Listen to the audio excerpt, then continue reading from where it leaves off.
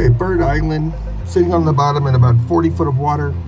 Looks to me like a, you know, lots of limbs, kind of a flat area over here. Almost looks like bones or something. It looks like limbs and rocks. Quite a bit of algae. And if I hit my thrusters at all, it'll kick this up. 1028,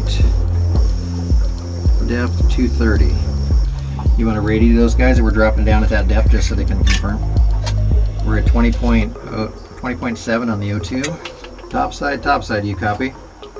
Should have turned the radio on for him. Now this is what you call instrumentation flying. What's our depth, Hank? 79 feet off the bottom. 79 feet Off the bottom. off the bottom. 40 feet off the bottom. 40 feet off the bottom. What's our O2 level? O2 level 20.8. Good. How's that for a landing, Dave? Tell you what, man, you're the pro. We're like 2.6 feet off the bottom. Boom, touchdown. So let's. Uh, Time at bottom 1039. there's the Mysis shrimp right in front of us.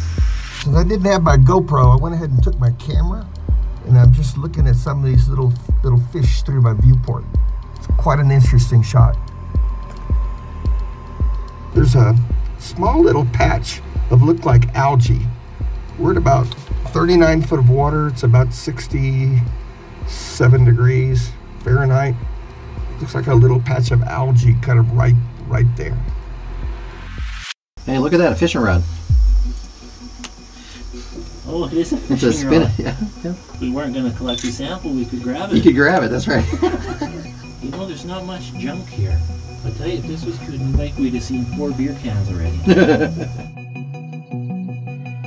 We're more vertical here, and it starts kind of coving out that direction. We're touching bottom on the right. The left-hand side looks like it's Yes. probably 12, 18 inches up. We're like on the edge of a pyramid. Because to your right, it falls right off.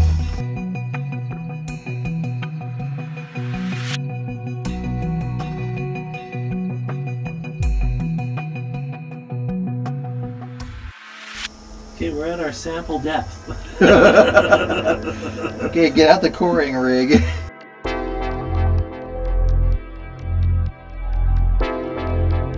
Perfect, right there. Look at that.